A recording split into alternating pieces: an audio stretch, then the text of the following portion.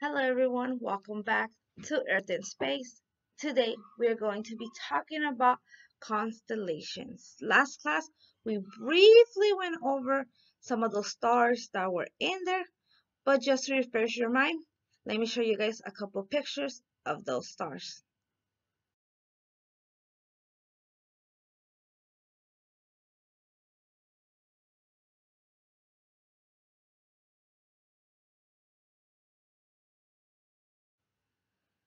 Now that you guys saw those pictures one more time and it refresh your mind, let me introduce to you guys what the what a constellation is.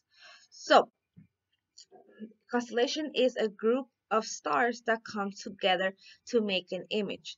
So sort of like the Avengers. They're the superheroes of the sky, sort of. They come together to make an image. Who invented these? Who came up with them? Well, the Greeks did. They used to tell stories to their gods and goddesses about the mystical creatures in the sky. So they came up with stories about them. We are going to be talking about a few of those in their stories next class. For now, I'm just going to go over the basics of what a constellation is. Can you guys guess how many constellations we have in the sky that are already named? Any number. Give me a number. Ooh, good guess. Hmm, kind of. Not bad off. Hmm. Well, there's actually 88 constellations in the sky. Most of them are either bird shapes, bears, animal land, uh, humans forms there's many many different images with those 88 constellations. Pretty neat right? How a group of stars can make images if we think about it.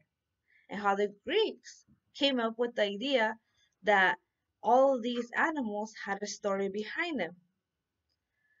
So for your assignment today everyone all i want you guys to do is to just send me a picture of your notes today.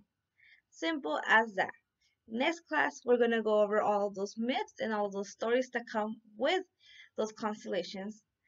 And then, I then later on, we're going to be creating our own constellation story.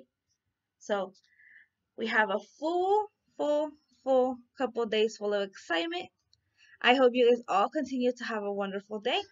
And I'll see you guys all very, very soon. Bye, everyone.